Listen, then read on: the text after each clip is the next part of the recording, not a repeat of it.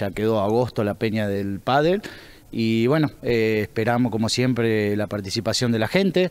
Eh, nosotros venimos trabajando en esto hace más de un mes largo, en la contratación de los, de los artistas, el armado de la fecha del salón, el preparativo y todo, y la verdad que lleva un trabajo muy importante previo a lo que va a ser el gran evento del día viernes. ¿Viernes a partir de qué horario? Viernes a partir de las 21.30, eh, las anticipadas tienen un costo de mil pesos, se pueden eh, conseguir en la peluquería del Chelo Ceballo, peluquería de César Barceloni y en la secretaría del club o que se contacten con cualquier integrante de la subcomisión.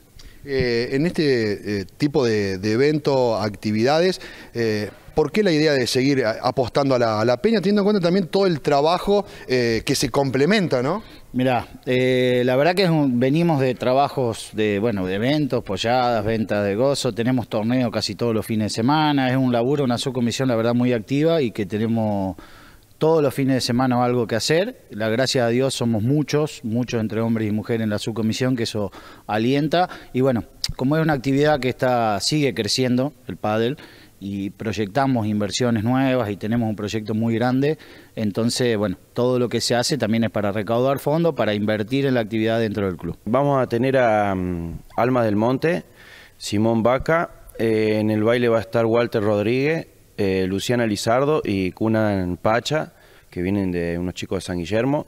Así que, bueno, contratamos grupos locales y regionales como para, para darle un poco más de, difusión a toda la región.